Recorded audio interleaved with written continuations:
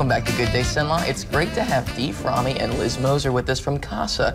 Dee's the new program director, while Liz is the new training coordinator. And thank you guys for being here with us today. Thank, thank you. you. Thank for you for having having us. Excellent. So let's talk about CASA. Let's drive right into it. Uh, a big event coming up right now, the Toy Drive. Can we talk a little bit about that? Yes, sure. We um, had our tour drive and our gumbo luncheon last week at the Children's Advocacy Center, Mm-hmm. and it was a, a big success. Um, we want to say thank you to St. James Episcopal Daycare. Uh, they brought in day school, excuse me. They brought so many toys um, to us, and we had some individuals. It's a time for uh, Department of Family Services to come and, and collect uh, accept toys for their foster children, and uh, we can take our toys to um, uh, the CASA children as well.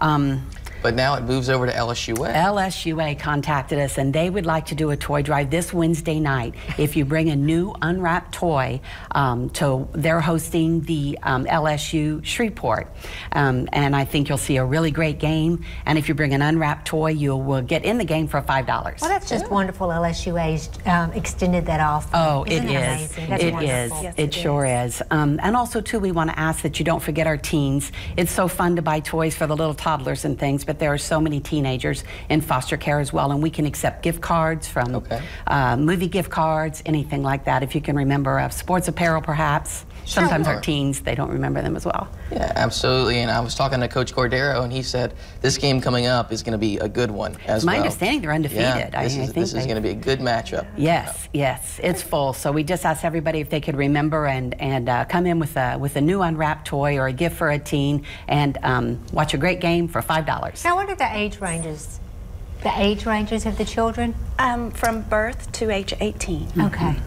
So it's wide open It's for all wide children, open, male, yes. female, just wide open. Yes, yes. And you know, for many of us, uh, most of us, I think the holidays are a very, very happy time. But um, last year, 12 children uh, were removed from their homes during the holidays, and uh, CASA received 12 cases. Perhaps even more children were removed.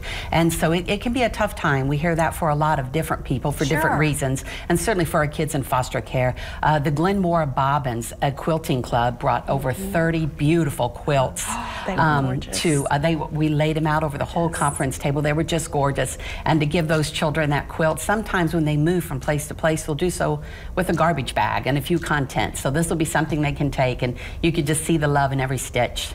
That That's is just excellent. amazing. Now, we just had Linda Hudson on from the food bank, Mm-hmm. and she talked about how you can volunteer and help in December. But I know for you guys, January is a very important month. January. We're taking a break in December um, for training, and we have January training coming up uh, for Avoyelles, Grant, and Rapides. We'll start that training on the 23rd.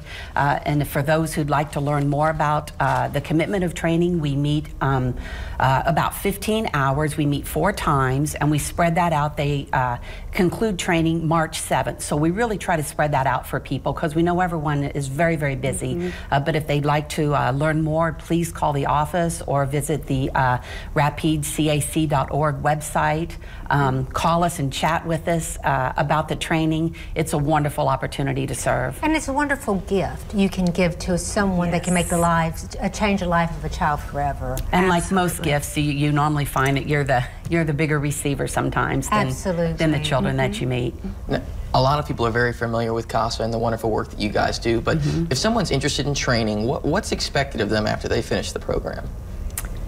After they finish the program, uh, they would be sworn in uh, by um, the local judge here. It's Judge Davidson in juvenile court, and then they would see their child once a month. And their sole purpose is to advocate on behalf of that child. If they feel that there are services that would benefit that child, uh, if the goal is reunification with the parent, um, they might report back to the judge if all aspects of that case plan are being addressed or where they're not being addressed. But mainly, it's to advocate and be that constant mentor friend to to that child. You see them once a month and and visit their school. I love to visit the school and anything Yes. you can think to add. It's it's the commi- the main commitment is the training. The training between online and in the class in the classroom is um, about 30 hours, 25 to 30 hours. But after that, you have court twice a year. Uh, you attend family team conferences um, right before court uh, which are held at the DCFS office, and then see your child once a month is the main thing, at least once a month. You want a, a relationship with that child. Well, thank you guys so much for being here with Thank us. I want to Thank remind you about that training, which is held in January for Grant Avoyelles and Rapides Parish,